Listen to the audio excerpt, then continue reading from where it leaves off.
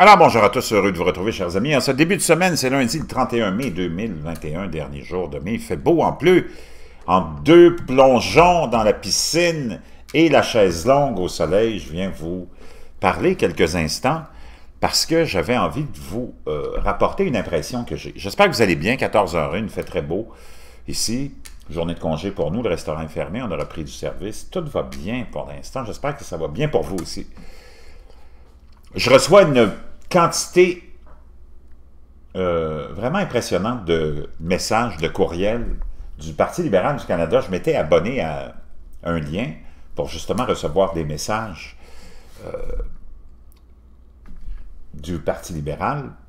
C'est comme ça que tu peux savoir ce qui se passe vraiment et comprendre euh, l'action des partis, surtout des, dans le cas du Parti libéral du Canada, un parti qui est au pouvoir euh, de façon minoritaire, qui est quand même euh, solide, qui est au pouvoir, qui a euh, une bonne base militante et financière, comparativement à, presque tous les partis d'opposition qui sont plutôt faibles.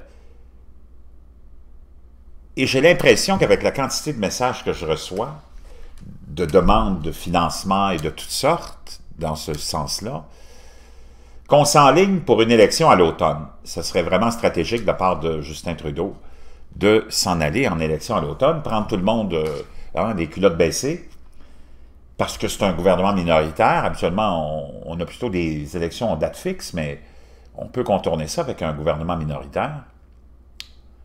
Et j'ai l'impression qu'on va laisser passer l'été et qu'à l'automne, on va s'en aller en élection. Donc, les Canadiens, Canadiennes, préparez-vous à euh, aller voter. Hein? Ça ne change jamais rien. Le lendemain d'une élection, il n'y a rien qui change. pas comme si le pays s'en allait dans une prospérité où la qualité de vie était pour euh, euh, se transformer. Hein? C'est juste une parure comme une autre. Un changement de gouvernement, ça amène généralement pas grand-chose, sauf pour ceux qui vont bénéficier des avantages de leur parti au pouvoir. Hein? Dans des octrois de contrats, des nominations à des postes, des postes de lieutenant-gouverneur, des postes à remplir de hauts fonctionnaires, qui sont toutes des nominations politiques. Mais pour le reste, entre vous et moi, c'est C'est le même euh, petit euh, train-train quotidien qui change absolument jamais, peu importe qui euh, sera au pouvoir. D'ailleurs, j'ai trouvé un petit article intéressant qui nous ramène en plus Jean Charest dans le décor ça nous vient de Radio-Canada. Jean Charest plaide pour une ouverture graduelle des frontières. Été publié le 28 mai 2021, donc il y a quelques jours. L'ancien premier ministre du Québec, Jean Charest, qui est membre du groupe de travail de l'Institut canadien du Wilson Center à Washington, a plaidé pour une ouverture graduelle des frontières entre les États-Unis et le Canada à l'occasion d'une entrevue accordée à l'émission Zone Économie, diffusée ici, à ici euh, RDI, vendredi dernier. Il n'y a aucun doute que les gouvernements ont mis en, place des restrictions dans le but de dissuader les gens de voyager en imposant des contraintes comme la situation évolue. Avec les vaccins, on anticipe des réouvertures. C'est vrai pour la frontière entre le Canada et les États-Unis.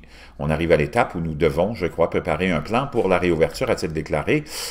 On n'a pas, en tout cas, de déclaration du gouvernement fédéral ou américain sur un plan de réouverture, mais on y arrive. On devrait pouvoir anticiper une réouverture sécuritaire, mais graduelle, qui permettrait aux gens de circuler entre les deux pays, a souligné Jean Charest. À propos des pressions exercées pour l'ouverture des frontières après le 21 juin, M. Charest a indiqué que c'est possible, soulignant que le groupe de travail auquel il appartient a rencontré des fonctionnaires des deux pays qui attendaient des signaux. Cependant, l'ex-chef libéral tempère cette probabilité, citant l'exemple du premier ministre ontarien Doug Ford, qui souhaite un resserrement des frontières, ou le cas du Manitoba, où la situation va moins bien.